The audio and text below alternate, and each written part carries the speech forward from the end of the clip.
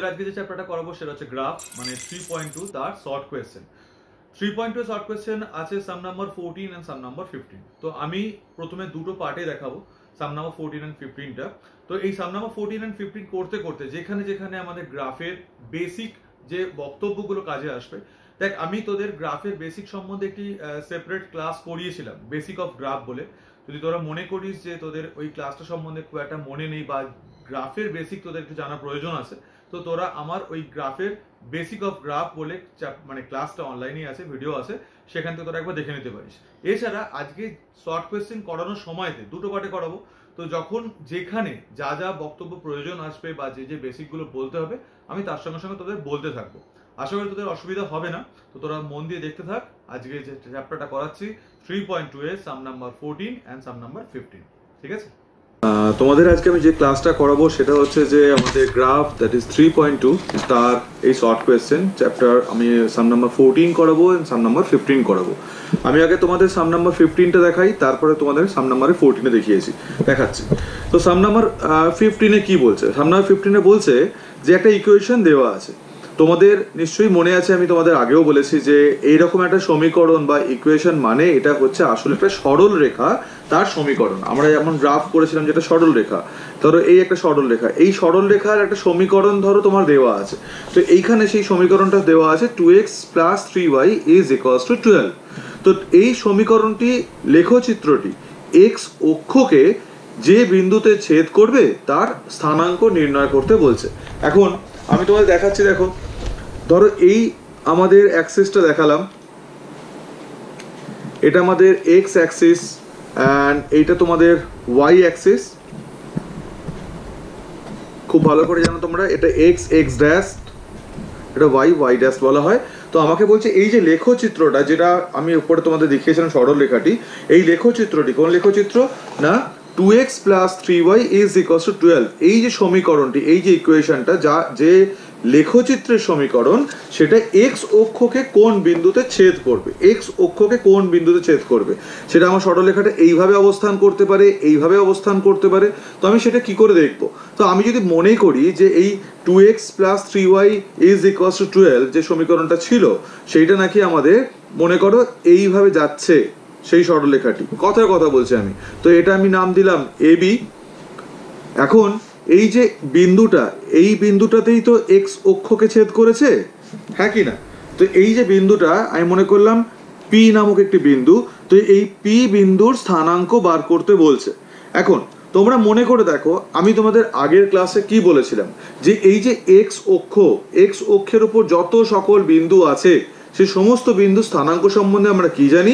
সেই স্থানাঙ্কগুলোতে ওয়াই এর মানটা, যেটা কিনা আমাদের কোটি বলা হয় এবং যেটা কিনা আমরা ওডিনেট বলি ইংরাজিতে, তো ওয়াই এর মানটা জিরো হয়। মানে তোমার সেই সেই ধরনের সমীকরণগুলোতে আমার ধরো যে গ্রাফ মানে তার যে স্থানাঙ্ক কোঅর্ডিনেটটা যেটা, সেটা তোমাদের আমি এখানে দেখাচ্ছি। ধরো এরকম হয় যে থ্রি কমা জিরো এরকম হয় যে ফোর কমা জিরো এরকম হয় যে ফাইভ কমা জিরো অথবা ধরো মাইনাস টেন কমা জিরো তাহলে খেয়াল করো প্রতিটা বিন্দুর এই ওয়াই এর মানগুলো শূন্য হয়। তাই তো? এই সমস্ত বিন্দুগুলো আমার এই এক্স অক্ষের উপর অবস্থান করে। যদি ধনাত্মক দিকে মানে প্লাসের দিকে থাকে, তাহলে four comma zero five comma zero seven comma zero eight comma zero হতে পারে। আবার এই বিন্দুগুলো ক্ষেত্রে মনে করো minus two comma zero minus three comma zero minus four comma zero minus nine comma zero এই জাতীয় বিন্দুগুলো স্থানাঙ্ক হতে পারে। যাই হোক, আমি যেটা বুঝলাম, সেটা যে আমার এই যে বিন্দুগুলো, তার প্রত্যেকটার ওয়াই এর মান, আমি তো জানি একটা বিন্দুর স্থানাঙ্ক যেটা, এটাকে এক্সের মান, এটাকে ওয়াই এর মান বলা হয়। এটাকে ভুজ, এটাকে কোটি বলা হয় অ্যাবস্ক্রিসা অ্যান্ড অর্ডিনেট বলা হয়। তো ওই অর্ডিনেটগুলো এই যে কোটিগুলো বা ওয়াই এর মানগুলো সবকটা জিরো হয়। এটুকু আমি নির্দিষ্ট। তাহলে যখন এক্স অক্ষকে ছেদ করছে এই সরলরেখা, তার মানে এই বিন্দুর ক্ষেত্রে যে স্থানাঙ্ক, তার আর কিছু জানি বা না জানি, আমি এটুকু জানি যে তার ওয়াইটা জিরো তার ওয়াইটা জিরো এখন এই যে ওয়াইটা জিরো দেখতে পাচ্ছি আমি তার এখানে এক্সের মানটা আমি এই, এইখানে আমাকে এই ভ্যালুটা বার করতে হবে। ওয়াইটা তো জিরো নির্দিষ্ট হয়ে গেছে, তো আমি এই ভ্যালুটা কত সেটা কি করে বার করব? দেখো, প্রথমে লিখছি আমি,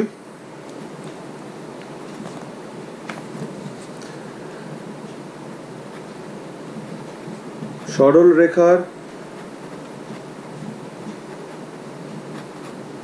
সমীকরণ দেওয়া আছে আমার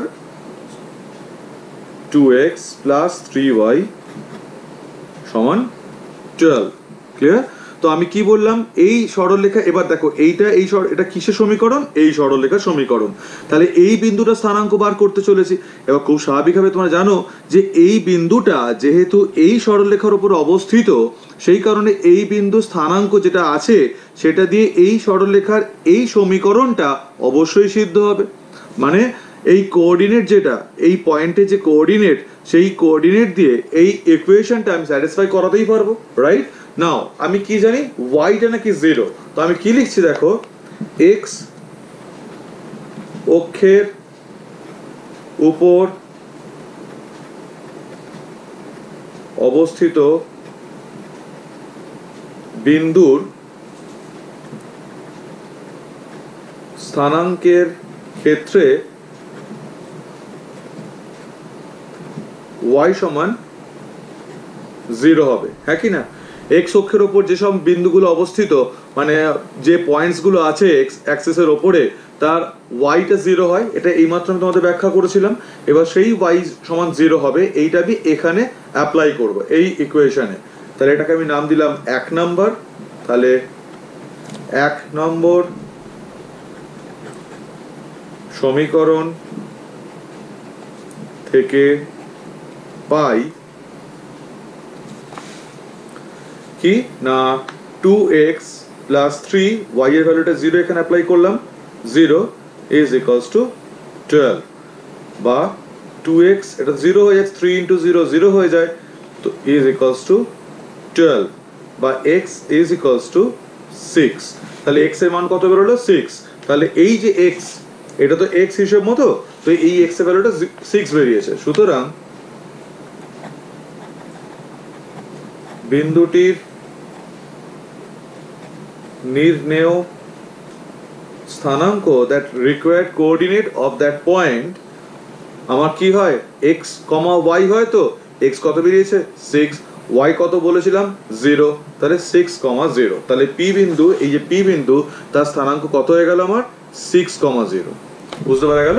তো আমি আরও একবার বলি তোমাকে, এই যে ইকুয়েশন দেওয়া থাকবে, সেটা এই সরলরেখার ইকুয়েশন একটা সরলরেখার ইকুয়েশনটা এই এক্স অ্যাক্সিসকে হ্যাঁ ডেফিনেটলি আমি আহ, হিসাব না করার আগে আমি যে এই ছবিটা এঁকেছিলাম, সেটা ঠিক নয়। কারণ আমার এইটা এইভাবেও বা এইভাবেও অবস্থান করতে পারতো যদি আমার এক্সের ভ্যালুটা মাইনাস সিক্স আসতো। মনে করো মাইনাস সিক্স আসলে সেটা তো বিন্দুটা এখানে হতো, তখন সরলরেখাটা এইখান দিয়ে যেত হয়তো। যাই হোক, আমি আমার অ্যাজামশন দিয়েই বলেছি যে এটা সরলরেখাটা এরকম দেখতে।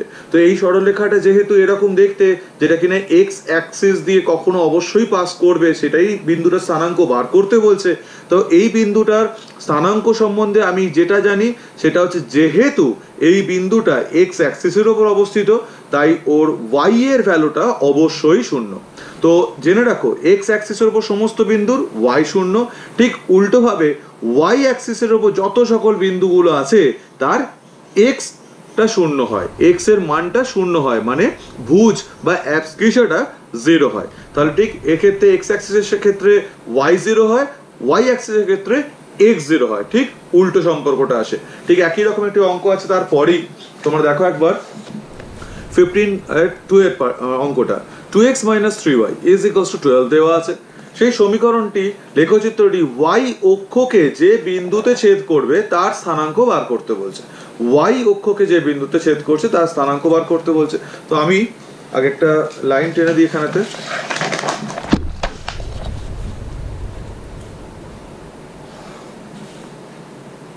তোমরা যখনই অঙ্ক করবে, এই আইসোলেশন লাইন টানতে কখনো ভুলবে না কিন্তু হ্যাঁ? এটা প্রেজেন্টেশনের ক্ষেত্রে খুব কাজে লাগে। একটা খাতা তো সুন্দর হতে হবে। তো ফিফটিনের পার্ট টু দেখাচ্ছি। তো আমি দেখো, এখানেতে এই ধর আমার অ্যাক্সেসগুলো ছিল। X x dash y y dash okay এখন এই আমার সেই বিন্দু, যার মূল বিন্দু বলা হয় zero comma zero origin point এখন মনে করো, আমি কথা কথা বলছি, আমাকে যে সরলরেখার সমীকরণ দেওয়া আছে, কি? না। সরল রেখার সমীকরণ দেওয়া আছে two x minus three y সমান টুয়েলভ তো এই যে সরলরেখা সমীকরণ দেওয়া আছে, এইটা আমি কথার কথা বলছি। ধরো এটা আমার এইভাবে গেছে। তাহলে এক্স ওয়াই এই যে ওয়াই অ্যাক্সিস তাকে এই বিন্দুতে ছেদ করেছে। এই পি বিন্দু স্থানাঙ্ক বার করতে বলছে। এখন পি বিন্দু স্থানাঙ্ক সম্বন্ধে আমি কিছু জানি বা না জানি, এইমাত্র বলেছিলাম, কি জানি? যেহেতু পি বিন্দুটা ওয়াই অ্যাক্সিসের ওপর অবস্থিত, তাই আর কিছু জানি বা না জানি পি বিন্দুর এক্সের ভ্যালুটা জিরো এটা আমি জানি। বিন্দুর এক্সের ভ্যালুটা কারণ এইখানে যত সকল বিন্দু আছে, সেগুলো সব এক্সের ভ্যালুগুলো জিরো হয়। মানে আমি তোমাদের এখানে দেখাই একবার। এই যে এক্স অ্যাক্সিস এটা এটা আমার ওয়াই অ্যাক্সিস ধরো, এই বিন্দু স্থানাঙ্ক যদি হয়, সেটা কি হয়? জিরো কমা থ্রি কথা কথা। এই বিন্দুটা যদি হয়, তাহলে এটা জিরো কমা ফাইভ এই বিন্দু স্থানাঙ্ক হচ্ছে জিরো কমা মাইনাস ফাইভ এই বিন্দু স্থানাঙ্ক ধরো জিরো কমা মাইনাস নাইন তাহলে খেয়াল করে দেখো, এই সমস্ত যে বিন্দুগুলো আছে, সেই বিন্দুগুলোর এক্সের মানগুলো সব কটা ক্ষেত্রে জিরো আসছে। মানে ভুজটা জিরো আসছে বা অ্যাবস্ক্রিসাটা জিরো আসছে রাইট তাহলে আমাকে যেহেতু এই বিন্দুটা বলেছে ওয়াই অ্যাক্সিসের উপর অবস্থান করছে, তাই ওর ভুজ বা অ্যাবস্ক্রিসা বা এক্সের মানটা শূন্য। তো আমি কি লিখছি? ওয়াই অক্ষের উপর অবস্থিত বিন্দুর ক্ষেত্রে কি হবে? ওয়াই অক্ষের উপর অবস্থিত বিন্দুর ক্ষেত্রে এক্সটা জিরো হবে, তাই না? এক্স সমান জিরো হবে। তাহলে এবার এক নম্বর সমীকরণ থেকে পাই সমীকরণটা কি ছিল? টু ইন্টু এক্সের ভ্যালুটা জিরো বসাবো তো এখানে? মাইনাস থ্রি ওয়াই সমান টুয়েলভ তো মাইনাস থ্রি ওয়াই কারণ টু ইন্টু জিরো জিরো হয়ে যাচ্ছে, সমান twelve so y is equals to minus four সুতরাং বিন্দুটির নির্ণেয় স্থানাঙ্ক কি ছিল? জিরো কমা সামথিং হবে। তো একশো তো জিরো একশো তো জিরো আর ওয়াইটা কত? মাইনাস ফোর তাহলে জিরো কমা মাইনাস ফোর তাহলে এই বিন্দু স্থানাঙ্ক কত হলো? জিরো কমা মাইনাস ফোর একটা কথা বলে রাখি, এইগুলো হচ্ছে শর্ট কোয়েশ্চেন কোনগুলো? না, আমার দেখো এই sum number fourteen sum number fifteen যেগুলোতে এক নাম্বার বা দু নাম্বার থাকবে। এই জাতীয় শর্ট কোয়েশ্চেনগুলোর ক্ষেত্রে তোমরা কিন্তু কখনো এরকম কোনো কনফিউশন রেখো না যে এই শর্ট কোয়েশ্চেনগুলো তোমাকে গ্রাফ পেপারে প্লট করতে হবে। একদমই না। যে প্রশ্ন দেওয়া থাকবে শর্ট কোয়েশ্চেনের ক্ষেত্রে, সেগুলো শুধুমাত্রই তোমাকে খাতায় কলমে ক্যালকুলেশন করতে হবে, কখনো গ্রাফ পেপারে প্লট করতে বলে না। এবং এক্ষেত্রে এই যে অঙ্কগুলো দেওয়া থাকে, এই অঙ্কগুলো তাতে চার নাম্বার থাকে, সেই চার নাম্বার এর যে অঙ্কগুলো মানে যার মান থাকে চার সেগুলো কিন্তু তোমাকে গ্রাফ পেপারে প্লট করতে হয়, ঠিক আছে? তাহলে কখনো শর্ট কোয়েশ্চেন গ্রাফ পেপারে প্লট করতে যেও না। এই অঙ্কটা দেখে আপাতত দৃষ্টিতে মনে হতে পারে যেটা আমি শর্ট কোয়েশ্চেন এটা আছে, সেটা আমি গ্রাফ পেপারে প্লট করে দেখি যে ওয়াই অ্যাক্সিসকে কোন বিন্দু দিয়ে কাট করছে বা ওয়াই অ্যাক্সিসকে যে বিন্দু দিয়ে কাট করছে বা ইন্টারসেক্ট করছে, তার স্থানাঙ্ক কত। কিন্তু এখনও একদমই না। এগুলো সব কিন্তু তোমাকে খাতায় কলমে এইভাবে ক্যালকুলেশন করে বার করতে হবে রাইট আচ্ছা এবার আমি তোমাদের তিন নম্বর অঙ্কটা দেখাচ্ছি। তিন নম্বর অঙ্কটা বলছে যে three x plus four y is equals to twelve একটা ইকুয়েশন দেওয়া আছে। তার মানে এখান থেকে একটা সরলরেখা বুঝতেই পারছি আমি পারব ড্র করতে। সেই সরলরেখাটি লেখচিত্রটি মানে সরলরেখাটি অক্ষদ্বয় দ্বারা গঠিত মানে সরলরেখার, আমি ধরো এই ধরো অ্যাক্সিস একটা দেখাচ্ছি, আর এই আরেকটা অ্যাক্সিস আমি দেখালাম। এখন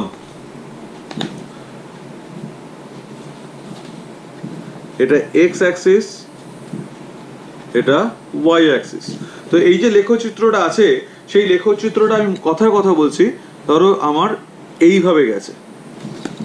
কেমন? তো এরকম একটা অঙ্কও ছিল এই যে অঙ্কটা, এই ক্ষেত্রে প্রচণ্ড ইম্পর্টেন্ট অঙ্ক সাম নাম্বার টেন তো সেক্ষেত্রে গ্রাফে প্লট করে করতে হয়েছিল, ত্রিভুজের ক্ষেত্রফল নির্ণয় করতে হয়েছিল। আর এই অঙ্কটা ক্ষেত্রে কিন্তু খবরদার গ্রাফে প্লট করতে হবে না। আমি যা এইমাত্র তোমাদের জাস্ট এইমাত্র বলেছিলাম যে শর্ট কোয়েশ্চেনের ক্ষেত্রে গ্রাফে প্লট করার কথা চিন্তাও করবে না কখনো। তোমায় খাতায়, কলমে ক্যালকুলেশন করে সলভ করতে হবে। তো আমাকে বলছে, এই যে লেখচিত্রটি আর এই যে অক্ষদয় লেখচিত্রটি এবং এই অক্ষদয় দ্বারা গঠিত ত্রিভুজ মানে কোনটা বলছে বলো তো এই এই ত্রিভুজটার কথা বলা হচ্ছে। ঠিক আছে?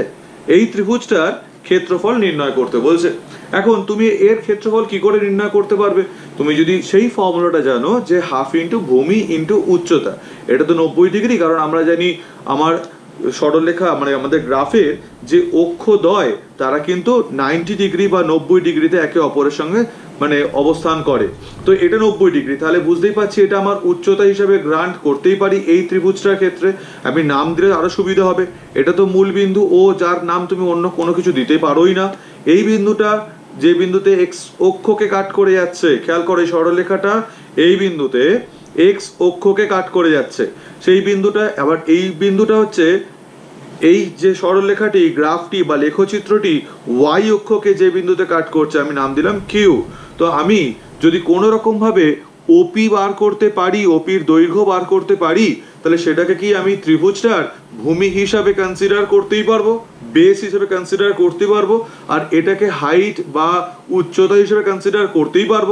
ও কিউটা যদি বার করতে পারি, তো আমার এখন মূল লক্ষ্য ওপি বার করা ও কিউ বার করা, তারপর সেই ফর্মুলা যে ত্রিভুজের ক্ষেত্রফল মানে হাফ ইন্টু ভূমি ইন্টু উচ্চতা।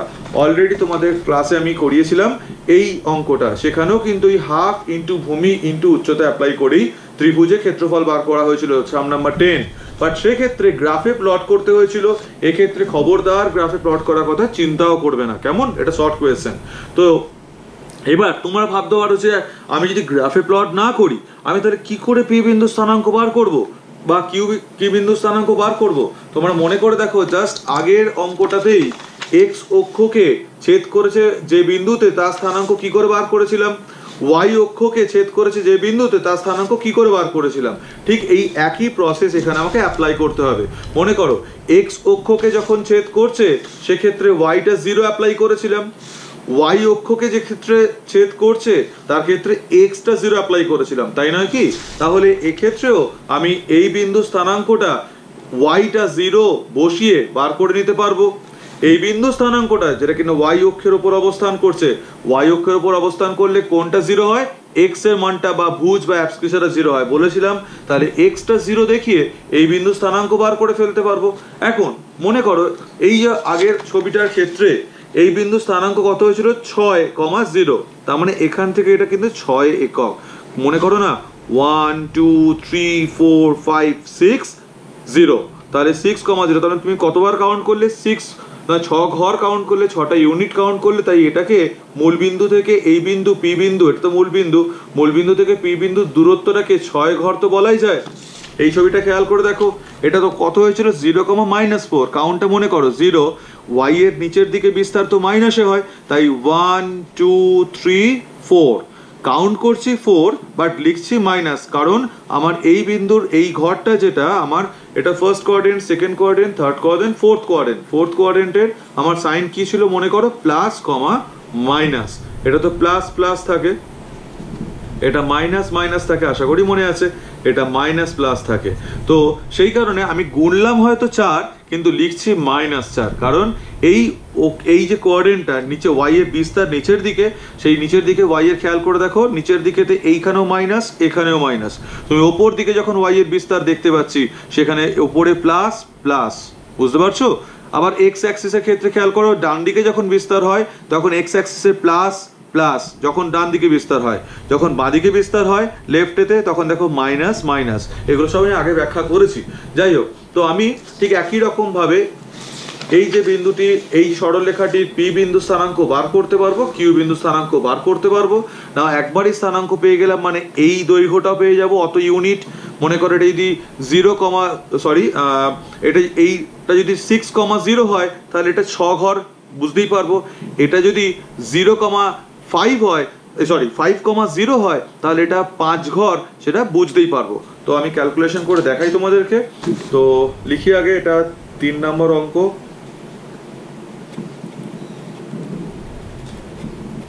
সরল রেখাটির সমীকরণ দেওয়া ছিল three x plus four y is equals to twelve equation one এবার ওয়ান বাই ওয়ান করছি, কেমন? এক্স অক্ষের এই এক্স অক্ষকে যে বিন্দু ছেদ করেছে পি নাম দিয়েছি, সেই বিন্দু ক্ষেত্রে। তাহলে এক্স অক্ষের উপর অবস্থিত বিন্দু ব্র্যাকেটে পি লিখে দিলাম, এর ক্ষেত্রে কি হবে? এক্স অক্ষের উপর অবস্থিত বিন্দুর ক্ষেত্রে কি জানি আমি? নির্দিষ্ট হবে যে ওয়াইটা শূন্য হয়। এক্স অক্ষের ওপর অবস্থিত বিন্দু পি তার ওয়াইটা শূন্য হয়। বলেছিলাম, মনে আছে আশা করি? ওয়াই শূন্য হবে। তাহলে এক নম্বর সমীকরণ থেকে পাই থ্রি এক্স প্লাস ফোর ওয়াইটা জিরো হয় বলেছিলাম, সমান টুয়েলভ তো three x is equals to twelve কারণ প্লাস ফোর ইন্টু জিরো জিরোই হয়ে যায়। So x is equals to four সুতরাং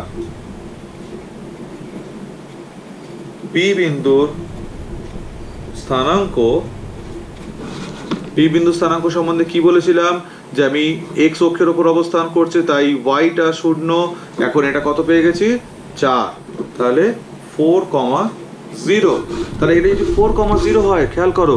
One two three four zero এখানে শেষ হয়ে গেছে। তাহলে ক ঘর করলে চার ঘর। তাহলে এটা কত একক হবে? চার একক।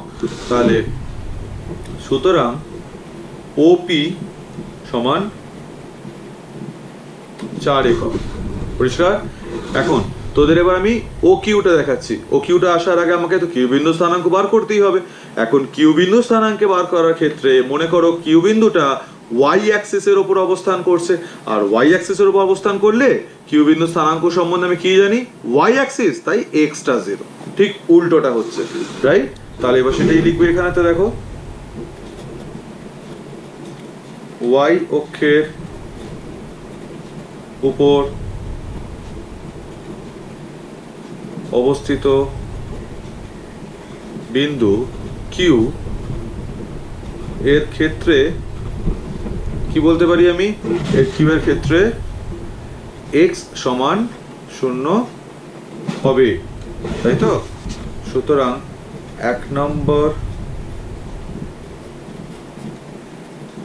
সমীকরণ থেকে পাই সমীকরণটা ছিল থ্রি ইন্টু এক্সের ভ্যালু জিরো তাই জিরো বসালাম এখানে প্লাস ফোর ওয়াই সমান টুয়েলভ সো ফোর ওয়াই সমান twelve three into zero zero হয়ে যায়, তাহলে ওয়াই সমান হয়ে গেছে আমার থ্রি সুতরাং সুতরাং কিউ বিন্দুর স্থানাঙ্ক মনে করো জিরো কমা সামথিং ছিল, তো এক্সটা তো জিরো আর ওয়াইটাই মাত্র কত বেরিয়েছে? ওয়াই বেরিয়েছে থ্রি তাহলে জিরো কমা থ্রি সুতরাং ও কিউ এই যে ও কিউ এই দৈর্ঘ্যটা কত হবে? এটা জিরো কমা থ্রি হয়েছে তো? তাহলে তিন একক নয় কি? ওয়ান টু থ্রি তাহলে জিরো তো এখানেই আছে জিরো ওয়ান টু থ্রি খেয়াল করো। তাই তো? তাহলে এটা তিন একক। তাহলে ও কিউ সমান আমার তিন একক। এবার এই ত্রিভুজটার ক্ষেত্রে আমার ক্ষেত্রফল বার করতে হবে ত্রিভুজ পি ও কিউ দেখতে পাচ্ছ? বা কিউ ও পি এর ক্ষেত্রফল বার করতে হবে। তো ত্রিভুজ পি ও কিউ এর ভূমি বা বেস আমি ওপি মনে করছি, তাই নয় কি? এইটাকে ভূমি হিসেবে কনসিডার করছি, আর এটাকে উচ্চতা হিসেবে কনসিডার করছি। তাহলে ভূমি ওপি ওপি কত বেরিয়েছিল? চার একক। তাহলে ওপি চার একক। উচ্চতা ও কিউ এই ও কিউ উচ্চতাটা ও কিউ ধরেছিলাম। তাহলে উচ্চতা ও কিউ সমান তিন একক, সুতরাং ক্ষেত্রফল সমান হাফ ইন্টু ভূমি ইন্টু উচ্চতা, বর্গ একক, তাহলে half into four into three square unit বর্গ একক সমান সিক্স বর্গ একক, সিক্স স্কোয়ার ইউনিট। তো এই হলো ঘটনা। তো খেয়াল করে দেখো, এখানে যে অঙ্কটি ছিল এইটি এবং এখানে যে অঙ্কটা ছিল এটা, দুটোর মধ্যে কোনো বেসিক ডিফারেন্স কিন্তু নেই। ভাষাগত পুরো সেম আছে। কিন্তু যখন এর মানে মান যেটা টোটাল নাম্বার থাকবে চার, তখন এটা গ্রাফিক্যালি প্লট করে তোমাকে করতে হবে। সেটা তুমি ক্লাসে করেছ আমার কাছে। এবং যখন এইটা দেওয়া থাকবে, যেটা কিনা শর্ট কোয়েশ্চেনে আছে, তখন কি তোমাকে এটা খাতায় কলমে ক্যালকুলেশন করে ক্ষেত্রফল বার করতে হবে। বুঝতে পারলাম? আচ্ছা এরপরে আমি চারের অঙ্কটা দেখাবো, পনেরো চার। সিক্স কমা মাইনাস এইট একটা কোঅর্ডিনেট একটা স্থানাঙ্ক দেওয়া আছে। সেই বিন্দুটি এক্স অক্ষ থেকে কত দূরত্বে এবং ওয়াই অক্ষ থেকে কত দূরত্বে অবস্থান করছে? মানে এক্স অ্যাক্সিস থেকে কত ডিস্টেন্স অ্যান্ড ওয়াই অ্যাক্সিস থেকে ডিস্টেন্স বার করতে হবে। আবারও বলি, অঙ্কটা পড়ে মনে হতে পারে যে তুমি কিন্তু এটাকে, তোমাকে গ্রাফে প্লট করতে হবে বাট একদম না। এটা শর্ট কোয়েশ্চেন দু নাম্বার বা এক নাম্বারের জন্য আসবে। সেক্ষেত্রে কখনো গ্রাফে গ্রাফ পেপারের কথা চিন্তা ভাবনাও করবে না। তো এখন সিক্স কমা মাইনাস এইট বিন্দুটা সম্বন্ধে একটু ধারণা দিই তোমাদের।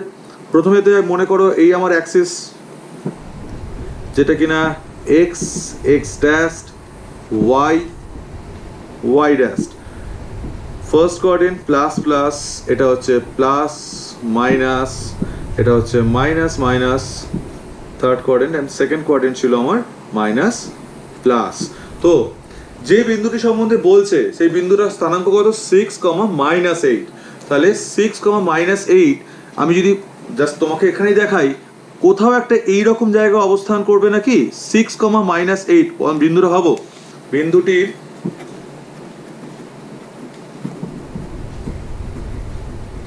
স্থানাঙ্ক সিক্স কমা মাইনাস এইট তাহলে plus comma minus plus comma minus তো ফোর্থ কোয়ার্ডেন্টে অবস্থান করে। ঠিক কি না তো ফোর্থ কোয়ার্ডেন্ট এইটা, তো আমি মনে করলাম কোথাও একটা, ধরো এইরকম একটা জায়গা অবস্থান করছে এই বিন্দুটা যে বিন্দুটা সম্বন্ধে আমাদের এখানে কথাবার্তা চলছে। তাহলে এই পি বিন্দু যার স্থানাঙ্ক কিনা? সিক্স কমা মাইনাস এইট তো সিক্স কমা মাইনাস এইট যখন বলছি, খেয়াল করো, এই যে বিন্দুটা আছে পি বিন্দুটা, সেটা এক্স অ্যাক্সিস থেকে কত কাউন্ট করেছি? One two three four five six আর তারপর নিচের দিকে নেমেছি one two three four five six seven eight তাহলে এখান থেকে ছয় গুনেছি, এখান থেকে আট গুনেছি। খেয়াল করো। তাহলে এই যে বিন্দু, আমি এখান থেকে যদি একটা ডট লাইন এভাবে ড্র করি, তাহলে এখান থেকে কবার গুনলাম? ছয় গুনেছিলাম তো? তাহলে এটা আমার ছয়। আর এখান থেকে কত নেমেছিলাম? আট নেমেছিলাম তো? এটা আমার আট রাইট তো এটা আমার আট একক এইট ইউনিট তো এই যে ডিস্টেন্সটা এটা সিক্স ইউনিট আর এটা এইট ইউনিট তাহলে এইটা ডিস্টেন্সটা সিক্স যদি হয়, আমি মনে করলাম এটা তো ও দেওয়াই আছে, এটা মূল বিন্দু অরিজিন পয়েন্ট ও থাকে এটা নামটা, এটা মনে করলাম এম ঠিক আছে? তাহলে ও এম হচ্ছে ছয় একক, এবার এইখান থেকেও এইটা কি সেম হবে না? এই ও এম আর এই যদিও আমার সরলরেখাটা একটু বেঁকে গেছে, তো ও এম আর এইখান থেকে এই ডিস্টেন্সটা সেম হবে তো?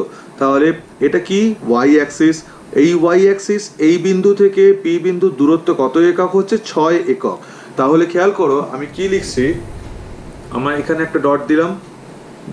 এটার নাম দিচ্ছি আমি কিউ দেখো, সুতরাং সরি সুতরাং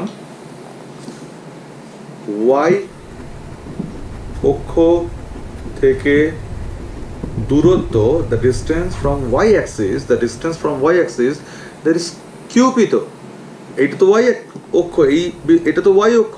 এখান থেকে দূরত্ব কোনটা? কিউপি হবে। দূরত্ব সমান QP now what is QP O M actually তাহলে এটা মানে হচ্ছে ও এম আর ও এম কত ছিল? ছয় একক। ঠিক আছে? সুতরাং কিউপি হচ্ছে ছয় একক। তাহলে ওয়াই অক্ষ থেকে দূরত্ব কত? ছয় একক রাইট এবং এক্স অক্ষ থেকে দূরত্ব, দেখো এক্স অ্যাক্সিস কোনটা? এইটা। আর এই বিন্দুটা এখানে অবস্থান কর দূরত্ব বলতে এইটা বোঝাচ্ছে নাকি? তাহলে তোমাকে এমপি বার করতে বলছে তো। তাহলে এমপিটা কত? এখান থেকে one two three four five six গেছিলে, তারপরে এখান থেকে জিরো থেকে zero two four six then eight এসছিলে right নিচের দিকেতে। তাহলে আমি আট ঘর নিচে এসেছিলাম, তবে এই বিন্দুতে এসেছিলাম। যদিও এই বিন্দু স্থানাঙ্ক মাইনাস এইট কিন্তু মাথায় রাখো এটা প্লিজ যে স্থানাঙ্ক আমার মাইনাসে আসতে পারে। কিন্তু দূরত্ব কখনো কিন্তু মাইনাসে লিখবে না। তুমি দেখে হয়তো বললে যে এখানে মাইনাস আট, তাই এখানে আট লিখবে, একদমই না। দূরত্ব কিন্তু কখনো মাইনাসে হয় না। দূরত্ব যেটা, সেটা অলওয়েজ পজিটিভ বা ধনাত্মক সংখ্যাই হয়, তাই না? তাই আমি এক্স অক্ষ থেকে দূরত্ব, এই যে এক্স অ্যাক্সিস তার থেকে দূরত্ব এমপি সমান আট একক লিখেছি এইট ইউনিট আট একক, একদম কিন্তু মাইনাস এইট লিখবে না। এইটাই, এই জন্যই তোমাকে এটা মাইনাসে দেয়। কখনো কখনো চেক করার জন্য যে তোমার ভেতরে সেই ধারণাটা আছে কিনা। দূরত্ব কখনো মাইনাসে হয় না। মনে থাকবে, স্থানাঙ্ক মাইনাসে হতে পারে। এইটার সঙ্গে, এই কথাটা আমাকে বলতেই হয় যে আমি যখন চ্যাপ্টার ফোর তোমাদের করিয়েছিলাম সে চ্যাপ্টার ফোরেতে কিছু কিছু অঙ্ক থাকে যা ধরো এইরকম একটা অঙ্ক আছে। যে ওয়াই এর মান কত হচ্ছে? ওয়াই তো একটা স্থানাঙ্ক কোঅর্ডিনেটের একটা অংশ, তাহলে তার মান কিন্তু প্লাস বা মাইনাস হতেই পারে। বাট দূরত্ব সবসময় কিন্তু ধনাত্মক বা পজিটিভ থাকবে। তাই দূরত্ব কখনো প্লাস মাইনাস দেবে না, কারণ দূরত্বের ক্ষেত্রে তুমি জানো এটা নির্ধারিত বা নির্দিষ্ট সার্টেনলি এটা পজিটিভই থাকবে। বাট ইয়েস যদি কোঅর্ডিনেট বা স্থানাঙ্ক বা তার ভুজ বা কোটি অ্যাপসকিসা বা অর্ডিনেট বা এক্সের মান বা ওয়াই এর মান বার করতে হয়, সেই সব ক্ষেত্রে চ্যাপ্টার ফোরের সেই সব ক্ষেত্রে কিন্তু এখানে অবশ্যই তুমি প্লাস এবং মাইনাস দুটো অপশানই নিতে হবে। যাই হোক, আমি চ্যাপ্টার ফোর সম্বন্ধে বলছিলাম। তো এবার এক্ষেত্রে খেয়াল করে দেখো, এটা এইট একক এখন এই অঙ্কটা তোমাকে যদি আমি জেস্ট করে একদম বলি, সেটা কি হবে? দেখো পি বিন্দু স্থানাঙ্ক কত? সিক্স টু মাইনাস এইট তুমি স্মার্টলি চিন্তা করো ওয়াই অক্ষ থেকে দূরত্বটা এক্সের মানটা হয়েছে। তাই না? অ্যান্ড এক্স অক্ষ থেকে দূরত্বটা ওয়াই এর মান পজিটিভে ওয়াই এর মান পজিটিভে হয়েছে। মানে ওয়াই এর যে ভ্যালুটা সেটা এখানে এক্স অক্ষ থেকে দূরত্বতে এসছে, কিন্তু হ্যাঁ পজিটিভ ধনাত্মক চেহারা নিয়েছে, কখনো মাইনাস এইট লিখে দেবে না। তো এই হলো ঘটনা। এটা ছিল তোমার sum number four fifteen part four ঠিক আছে? আচ্ছা ছেলেমেয়েরা, এবার আমি তোমাদেরকে পনেরোর পাঁচের অঙ্কটা দেখাবো, যেখানে বলছে যে x is equals to y সমীকরণে লেখচিত্র এক্স অক্ষের ধনাত্মক দিকের সঙ্গে যে কোন উৎপন্ন করে তার মান লেখো। এখন ভাষা শুনে মনে হতে পারে যে খুব জটিল অঙ্ক বাট একদমই না। একটু তুমি আমি যদি তোমাদের প্র্যাকটিক্যালি এঁকে একটু দেখাই, অবশ্যই গ্রাফ পেপারে নয়। দেখো, এই হলো আমার অ্যাক্সেস দুটো। যেটার নাম দিলাম এক্স এক্স ড্যাস্ট নাম দেওয়ার দরকার নেই এটা এরকমই নাম হয়। ওয়াই ওয়াই ড্যাস্ট এটা হচ্ছে মূলবিন্দু ও জিরো কমা জিরো তো বক্তব্যটা হচ্ছে যে ওরা যে সমীকরণটা দিয়েছে, সে সমীকরণটা হচ্ছে এক্স ইজ ইকলস টু লেখচিত্রের সমীকরণ x is equals to y এখন x is equals to y তুমি তার মানে কি এক্সের যা ভ্যালু ওয়াই এরও তাই ভ্যালু তাহলে এক্সের যা মান নেব ওয়াই এরও তাই মান নেব। এখন, যেভাবে লেখচিত্র শেখানো হয়েছিল, আমি যদি সেইভাবে তোমাদের বোঝানোর চেষ্টা করি, সেই রাস্তা দিয়ে, তো সেখানে আমাকে একটা এরকম চার্ট বানাতে হতো যেখানে এক্স এবং ওয়াই এর বিন্দু যে তিনটি নিতে বলতাম, তার স্থানাঙ্কগুলো একটা কম্বিনেশন তৈরি করতাম। মনে করতে পারছ? তো এক্সের ভ্যালু যাই নেব ওয়াই এর ভ্যালুও তাই নেব। তাহলে এক্স যদি জিরো নিই, তাহলে ওয়াইও জিরো হয়। এক্স যদি ফাইভ নিই, তো ওয়াইও ফাইভ হয়।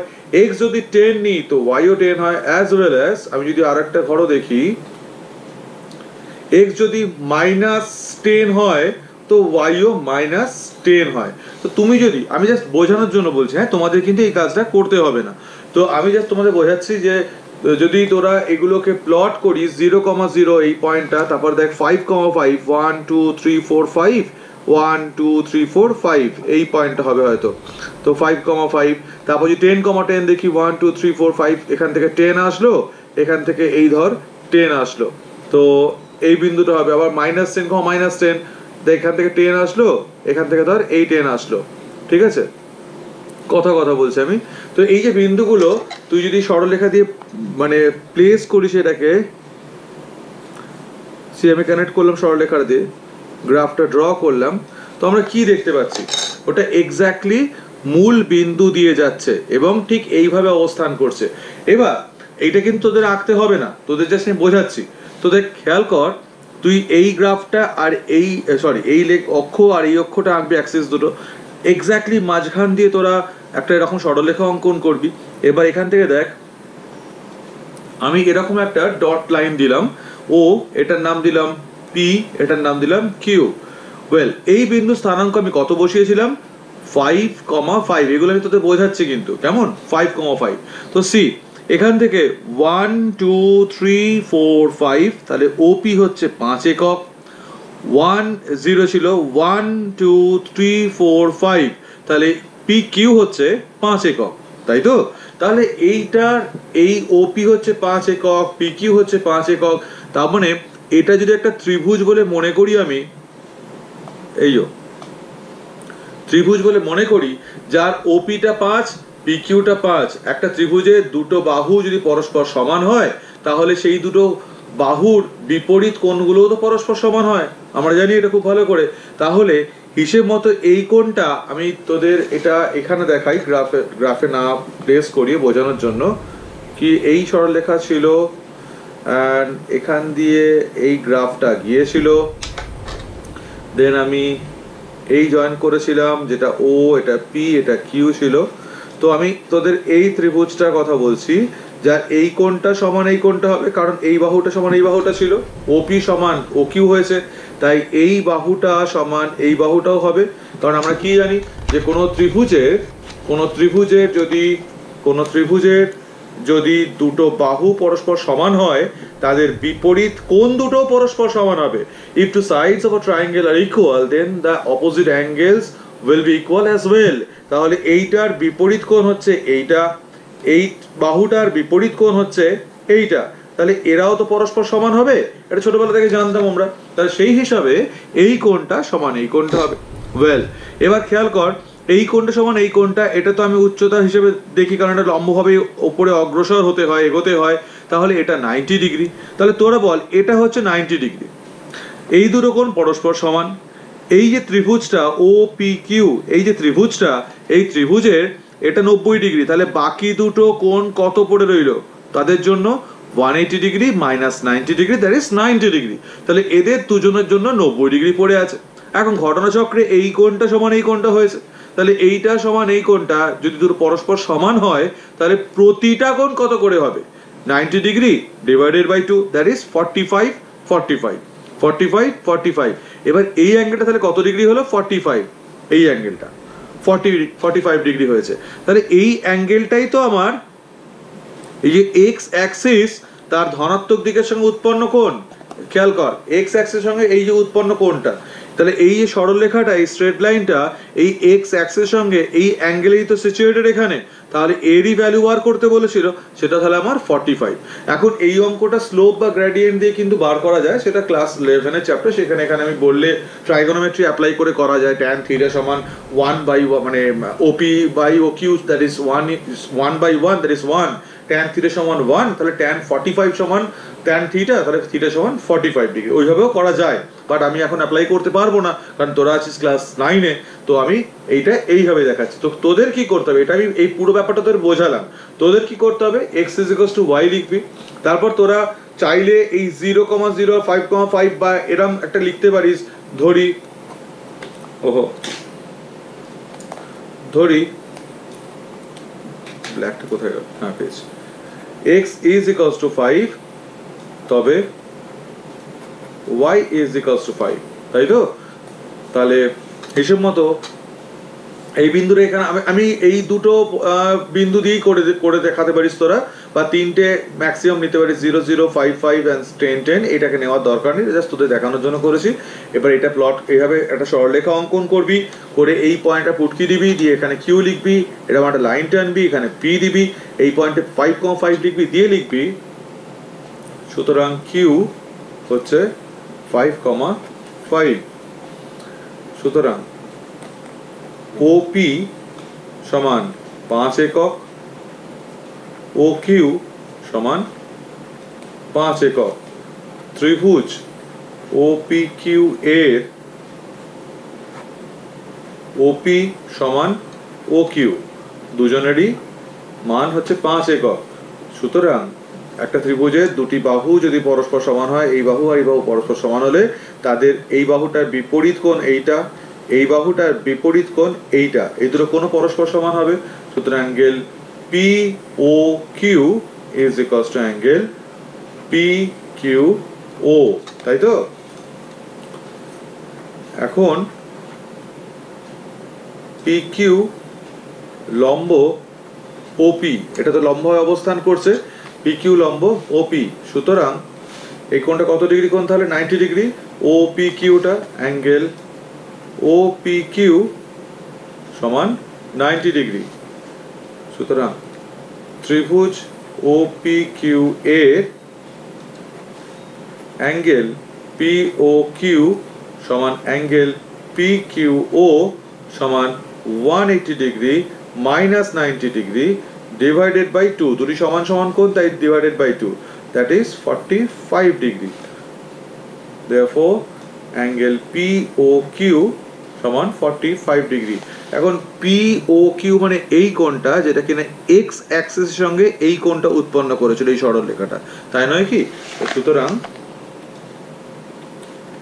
এক্স অক্ষের ধনাত্মক দিকে ফর্টি ফাইভ ডিগ্রি কোণ উৎপন্ন করে। এই অঙ্কটা। খুব ইম্পর্টেন্ট অঙ্ক এটা। এইখান থেকে তোদের একটা ধারণা আমি আরও একবার মনে করাই। এটা পনেরো পাঁচ ছিল। সেটা হচ্ছে যে এই যে ইকুয়েশন এটা তো এটা তো সমীকরণ, এটা তো ইকুয়েশন তুই x is equals to y ভাবতে পারিস, তুই এক্স মাইনাস ওয়াই সমান জিরো ভাবতে পারিস। এই যে সমীকরণটা, তাতে আর যাই হোক, খেয়াল কর তোর ধ্রুবক পদটা বা কনস্ট্যান্ট যে টার্মটা থাকে সে কিন্তু নেই। তো আমি কি বলেছিলাম যে কোনো সরলরেখা বা সমীকরণে যদি কনস্ট্যান্ট বা ধ্রুবক পদটা না থাকে, তাহলে সেই সরলরেখাটা অবশ্যই মূল বিন্দুগামী হয়। সেটা সবসময় যে এরকম এত সুন্দর করে যাবে তা নয়, এটা এরকম বা এরকম বা এরকম ভাবেও যেতে পারতো। বাট এক্ষেত্রে সমীকরণটা যদি x is equals to y তাই এইভাবে গেছে। এটা যদি x is equals to two y হতো বা এক্স মাইনাস টু ওয়াই সমান জিরো হতো। এক্স মাইনাস টু ওয়াই সমান জিরো হতো। তাহলে হয়তো সরলরেখাটা এইভাবে অবস্থান করতো। হতেই পারে। ঠিক আছে? তো যাই হোক, তো এই হলো ঘটনা। তো এটা হচ্ছে পনেরো সবকটা অঙ্ক দেখানো হলো।